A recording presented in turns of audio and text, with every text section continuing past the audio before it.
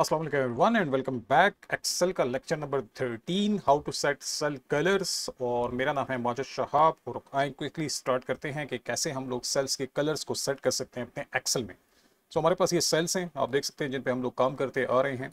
सो so, इन cells के colours आपने सेट करने हैं तो मल्टीपल मैथड्स हैं। सबसे पहले लेट सपोज़ एक सेल मैंने सेलेक्ट कर लिया और होम ग्रुप में होम बटन में आके यहाँ पे फॉन्ट ग्रुप है इसमें आपके पास एक बकेट आइकन नज़र आ रहा है आपको ये वाला। ये लिखा हुआ आ रहा है फिल कलर इसमें आप लोग अपने सेल्स के कलर्स जो हैं वो सेट कर सकते हैं। सो मैं यहाँ पे एक छोटा सा आइकन देख रहा हूँ, इसको मैं क्लिक कर लेता हूँ। तो लॉट्स ऑफ़ कलर्स हमारे सामने आ चुके हैं। इसमें मैं कोई एक कलर ले लेता हूँ, जैसे ये एंड क्लिक कर लेते हैं। तो आपका जो सेल का कलर है वो सेट हो जाएगा। आप इसको प्रिंट करेंगे कंट्रोल एफ़ टू तो आप देख सकते हैं कि सेल कलर आपके लिए प्रिंट बी होगा। सो ये मैंने एक सेल का सिलेक्ट किया है। लेट सपोज़ ये जो सी कॉलम है, इसको मैं क्लिक कर लेता हूँ सी को, और ये जितना भी कॉलम है, मुझे रेड कलर में चाहिए। तो मैं यहाँ से आके इसको रेड कलर ले लेता हूँ।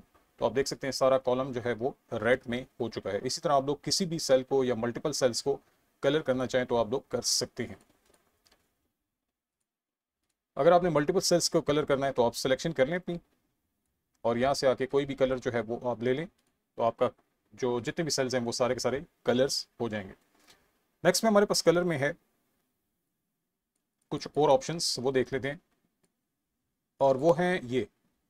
नो फिल अब जैसे फॉर एग्जांपल मैंने यहाँ पे कोई कलर कर लिया और मुझे अब ये कलर हटाने हैं तो आप इसको क्लिक करें और यहाँ से ले लें नो फिल तो आप देख सकते हैं सारे कलर्स जो हैं वो जा चुके हैं। नेक्स्ट आप देख सकते हैं यहाँ पे एक ऑप्शन है मोर कलर इसको मैं क्लिक करता हूँ। तो यहाँ पे आपके पास एक ऑप्शन आ गया है। बहुत से कलर्स आपको नज़र आ रहे हैं। यहाँ पे दो ऑप्शन है नीचे। एक है करंट जो आपका सेलेक्टेड अभी जो जो सेलेक्ट हुआ हुआ है कलर वो है व्हाइट बेसिकली आप सब वाइट देख रहे हैं।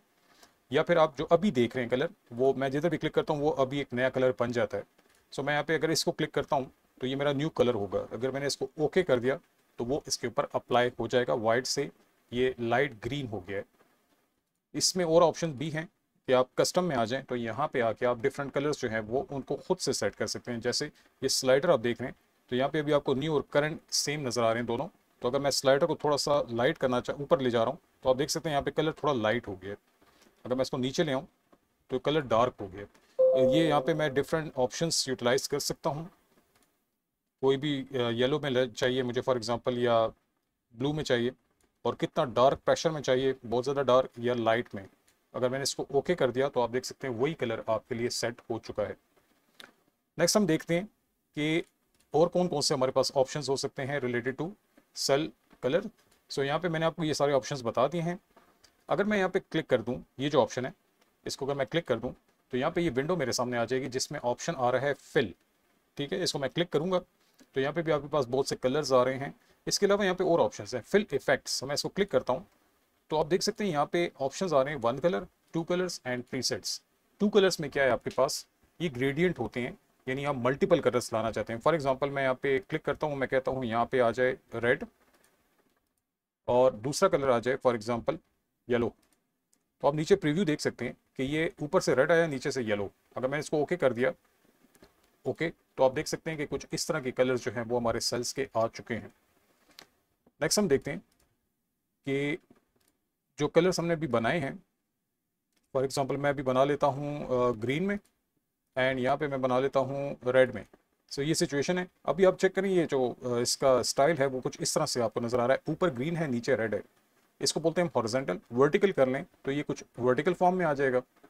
डायगनल कर लें तो ये कुछ डायगनल फॉर्म में आ जाएगा। डायगनल डाउन कर लें तो लेफ़्ट साइड पे आ रहा है। फ्रॉम कॉर्नर इस तरीके से कॉर्नर से रेड आ रहा है। यहाँ से और इस कॉर्नर से रेड है, इस कॉर्नर से ग्रीन है। और आप इसको सेंटर से भी कर सकते हैं। सेंटर में ग्रीन आ गया और साइडों पे रेड है। सो डिफरेंट स्टाइल्स जो हैं, वो यहाँ पे गिवन है। मैं इसको ओके okay करता हूँ। ओके okay कर लेते हैं। तो कुछ ये स्टाइल्स हमारे पास आ चुके हैं। नेक्स्ट हम देख लेते हैं।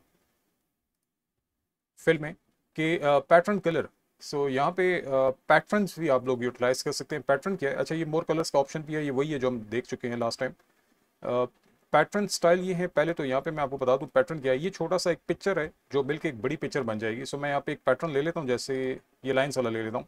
तो ये नीचे आपको स्टाइल नज़र आ रहा है। ये डिफ़ॉल्ट ब्लैक है। हम इसको कर लेते हैं फॉर एग्ज़ाम्पल रेड तो ये इस तरीके से आ गया। ओके करते हैं। तो कुछ इस तरीके से आपके कलर्स जो हैं वो सेट हो चुके हैं। आप इनके बॉर्डर सेट करना चाहें तो वो भी कर सकते हैं। ओके सो इस तरीके से कुछ आपका जो सेल्स के कलर्स हैं वो सेट हो गए हैं विद पैटर्न तो ये डिफरेंट स्टाइल से डिफरेंट पॉसिबिलिटीज़ थी, जो कि आप लोग अपने सेल से कलर से रिलेटेड जो है वो सेट कर सकते हैं। आज के लेक्चर में इतना ही था। मिलते हैं किसी और लेक्चर में। तब तक के लिए थैंक यू अल्लाह हाफिज़।